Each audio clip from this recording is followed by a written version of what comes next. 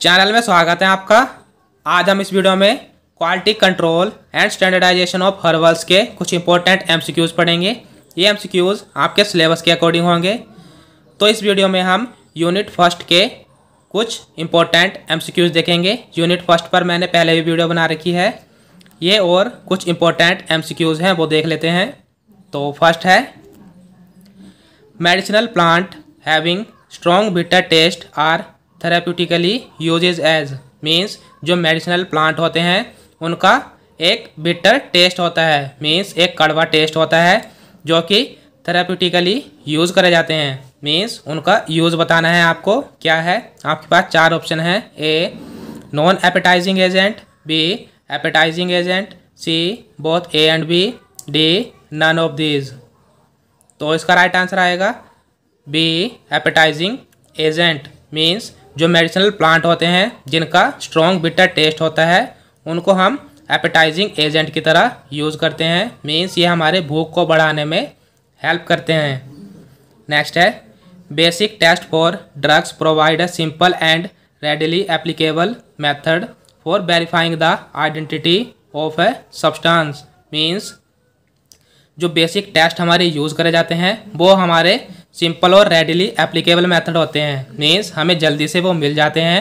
वो हमारे यूज़ करे जाते हैं किसी की आइडेंटिटी निकालने के लिए। मीन्स जैसे कोई सब्सटेंस है, उसको पहचानने के लिए कि उसकी फैमिली वगैरह कौन सी है। तो आपको बताना है कि क्या ये सही है या गलत है। तो इसका राइट आंसर आएगा ए ट्रू मीन्स जो बेसिक टेस्ट होते हैं, हमें सिंपल और रेडली एप्लीकेबल मेथड प्रोवाइड कराते हैं, जिससे कि हम किसी सब्सटेंस की आइडेंटिटी को फाइंड आउट कर सकते हैं। नेक्स्ट है amikacin sulphate is means amikacin sulphate क्या है? आपके पास चार ऑप्शन है। A a white to blue bluish white B a white to green greenish white C a white to brown brownish white D a white to yellow yellowish white तो जो हमारा amikacin sulphate है, वो D a white to yellow yellowish white powder है। Next है, ketamine hydrochloride is means ketamine hydrochloride क्या है?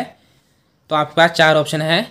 A yellow crystalline powder B blue powder C white crystalline powder D none of these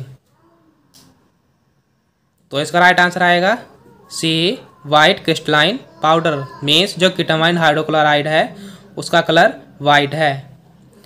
next है। Dextran 70 injection is a sterile solution usually containing means जो हमारा dextran 70 injection है, वो एक sterile solution है।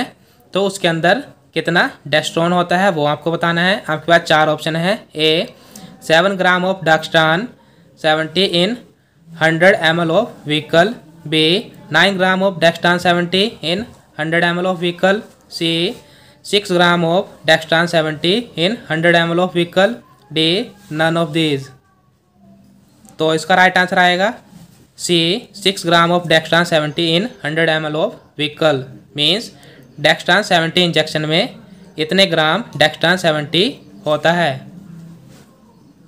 तो नेक्स्ट है gentamicin sulphate injection is sterile solution usually containing means gentamicin sulphate एक स्टेराइल सॉल्यूशन है। तो उसमें कितना होता है? मीन्स किसकी क्वांटिटी कितनी होती है? आपके पास चार ऑप्शन है। A ten to forty M of gentamicin sulphate in one M of vehicle B twenty to sixty M of gentamicin sulphate in one M of vehicle C thirty to eighty M of gentamicin sulphate in one M of vehicle D none of these तो इसका right answer आएगा A ten to forty M G of gentamicin sulphate in one M L of vehicle means gentamicin sulphate injection में इतना gentamicin sulphate होता है, वो भी एक एम एल ऑफ़ व्हीकल में। तो हम आगे देख लेते हैं। तो नेक्स्ट है। The bitterness is determined by comparing the threshold bitter concentration of an extract material with that of means जो बिटरनेस डिटरमाइन करते हैं हम। वो कैसे डिटरमाइन करते हैं? हम कंपेयर करते हैं threshold bitter concentration of an extract means जो हमने एक्सट्रैक्ट लिया है मीन्स प्लांट का कोई भी एक्सट्रैक्ट जैसे उसका जूस है या उसका कोई भी केमिकल है तो उसकी हम कंसनट्रेशन चेक करते हैं, वो भी बीटर कंसनट्रेशन तो वो हम किससे करते हैं? आपके पास चार ऑप्शन हैं। A quinine hypochloride B quinine sulphate C quinine hydrochloride D none of these तो इसका राइट आंसर आएगा सी क्यूनिन हाइड्रोक्लोराइड मीन्स इसकी मदद से हम विटरनेस को चेक करते हैं। तो नेक्स्ट है the most characteristics property of saponin is means saponin की एक प्रॉपर्टी बतानी है, क्या होती है? आपके पास चार ऑप्शन है A haemolytic property B non haemolytic property C both A and B D none of these तो इसका राइट आंसर आएगा ए हिमोलाइटिक प्रॉपर्टी मीन्स जो सेपोनिन है हमारा हिमोलाइटिक वर्क करता है। नेक्स्ट है organoleptic evaluation of drug refers to the evaluation of a drug by means जो ऑर्गेनोलेप्टिक इवेल्यूशन करी जाती है, उसमें हम क्या क्या डिटरमाइन करते हैं, वो आपको बताना है। आपके पास चार ऑप्शन है। A colour odour B size shape C taste touch texture D all of these तो इसका राइट आंसर आएगा D all of these means organoleptic evaluation में हम colour odour size shape taste touch texture सबको determine करते हैं। तो अब हम कुछ इम्पोर्टेंट फुल फॉर्म्स देख लेते हैं जो एग्ज़ाम के लिए ज़रूरी हैं। तो देख लेते हैं। फ़र्स्ट है A D I means A D I की फुल फॉर्म बताइए। तो इसकी फुल फॉर्म होती है एक्सेप्टेबल डेली इनटेक सेकंड है M D I means M D I की फुल फॉर्म बताइए। तो इसकी फुल फॉर्म होती है मेन डेली इनटेक नेक्स्ट है A A S means double A S की फुल फॉर्म बताइए। क्या होती है?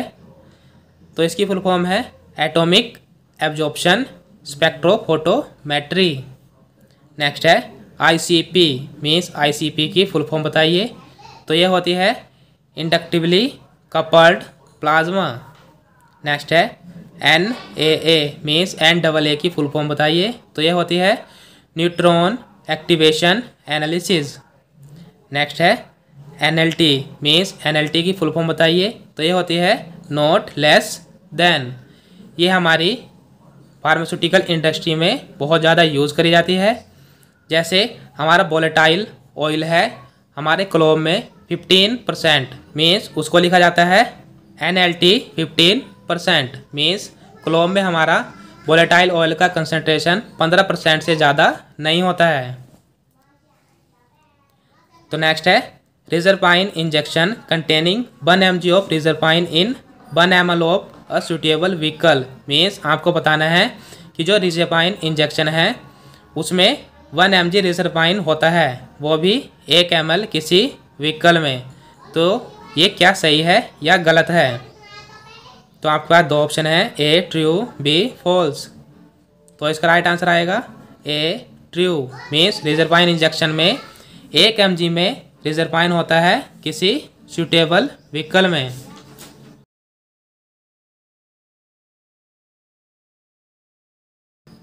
तो ये थे कुछ इंपॉर्टेंट एमसीक्यूज यूनिट फ़र्स्ट के quality control and standardization of herbals के।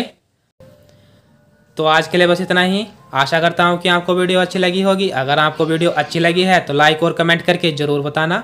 और आपसे एक छोटी सी रिक्वेस्ट है, अगर आप हमारे चैनल पर नए हैं तो चैनल को सब्सक्राइब कर दीजिए, जिससे कि आपको हमारी वीडियोज़ मिलती रहे। Thank you for watching